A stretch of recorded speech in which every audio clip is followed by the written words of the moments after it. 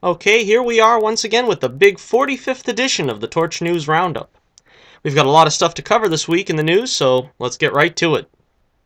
We have a new director, or should I say directors, for the upcoming Captain Marvel film in the MCU. Anna Boden and Ryan Fleck have been tapped to helm Captain Marvel. I have no idea who they are or anything about them. But Marvel has an eye for talent that flies under the radar. I mean, come on. The Russo brothers' biggest claim to fame at one time was You, Me, and Dupree. And here they gave us two spectacular Captain America movies as well as the upcoming Infinity War. As they say, in Marvel we trust.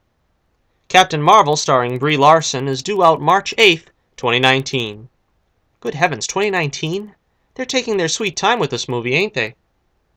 We have quite a few TV trailers to get through this week. First up is the Star Wars Rebels trailer for the show's fourth and final season. Now, Rebels is kind of disposable entertainment to me. I mean, I see each episode, I watch them every week, but I don't really remember anything about the show from week to week. This season was pretty memorable, however. Some things of real significance happened. Looking forward to next season, the trailer seems to be implying that Hera will be the only survivor of the series. We know both her and Chopper survived to Rogue One, but everybody else is fair game. I've always been a huge proponent that most of these characters need to die by the start of A New Hope, particularly Kanan and Ezra. We get to see Hera and Kanan get a little closer in the trailer, and I really hope they get to, well, for lack of a better term, consummate the relationship. I felt pretty strong about that from the beginning as well. Kanan's not an old school Jedi. He doesn't have the same dogmatic views as the Jedi Council, so I can see them falling in love. I hope so. Looks like Agent Kallus is finally a full-fledged member of the good guys. So yeah, looks good. And I hope this season will be as good as this past season has been. Things are getting a bit darker in the galaxy, that's for darn sure. Rebels Season 4 will be with us all in the fall of 2017. Next, we have the Krypton trailer for the Sci Fi Channel's upcoming series detailing the life of Kal-El's granddad in his youth. Now, I said from the beginning I'd be down for a show detailing Jor-El's life in the waning days of Krypton. Jor-El's dad, however, seems a harder sell. Now, apparently, WB pulled the trailer for some reason, so good luck finding it. It's out there in the interwebs like everything else if you look hard enough. Now, the visual aesthetic looks good enough. The dome over the city evokes Argo City or Kandor.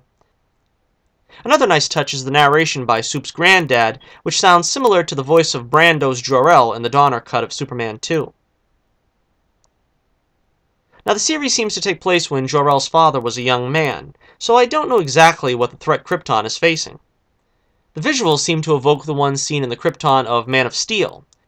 There's an old dude who gives Soup's granddad the same black key with the Superman symbol on it that was used in Man of Steel which it's not surprising that it recalls Man of Steel since the show is the brainchild of Man of Steel writer David Goyer.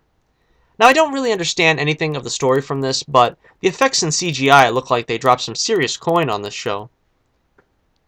Looks like Soup's granddad is seeing some action with a biracial lady, which probably isn't Soup's future grandmother, right? I don't know. And then Jor-El's dad cuts himself and puts the blood on the Superman symbol, causing the familiar red on the crest. Well, I gotta say, it looks very intriguing. On the basis of that promo, I'm willing to give it a shot. Not sure why the trailer was pulled, but it's possible they're planning some reshoots or something and don't want folks confused by the changes being made. I have no idea. And finally, we have the Cloak and Dagger trailer. I've been really looking forward to this show, so hopefully it lives up to expectations. Alright, so it looks like the show was going all the way back to the beginning for these two. I'm familiar with the characters from old issues of Spectacular Spider-Man, but I'm not that familiar with their origin. I don't believe they met as very young children in the comics. I believe they were already teenagers. Correct me if I'm wrong. So Baby Cloak rescues Baby Dagger from drowning when they first meet. And they meet years later without realizing it at first. In the intervening years, Dagger deals with some sleazy guys, and Cloak deals with some violence on the b-ball court. Dagger wants to be a ballerina, and Cloak ends up in the trunk of some dude's car.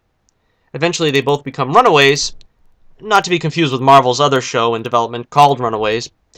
And Dagger learns she can make daggers from light energy, and Cloak, well, he wakes up wearing a massive cloak. Alright, mixed reaction from me. A mixed reaction. I think the cast looks great.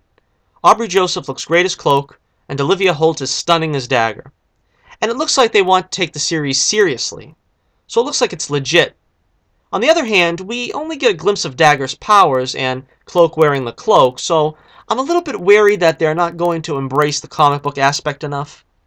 I want the show to be serious, yes, but I don't want it to be just a run-of-the-mill teen drama with just a few comic-inspired trappings. And they really need to embrace the costumes. Obviously, Cloak is a given. I think they have to use that, but Dagger really, really needs to have that skin-tight cotton jumpsuit. It's tough enough to get them to put a comic-accurate costume on a grown woman, so I'm doubtful they're going to give the comic-accurate costume to a teenager. If they want to make it a little less revealing, that's fine but she needs the white jumpsuit to really contrast with the light and the dark, as the characters are supposed to. But I'm looking forward to it. What do the kids say these days? Dope. And that's it for another edition of the Torch News Roundup. Let me know what you think.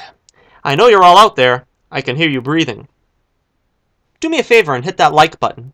And when you find out how much fun that is, you'll want to hit that subscribe button as well. Oh goody! Also, check out my website and Twitter page in the description below. Thank you for watching, and as always, this is Johnnie Torch reminding you, keep the flame burning brightly, and I'll be with you again real soon. Música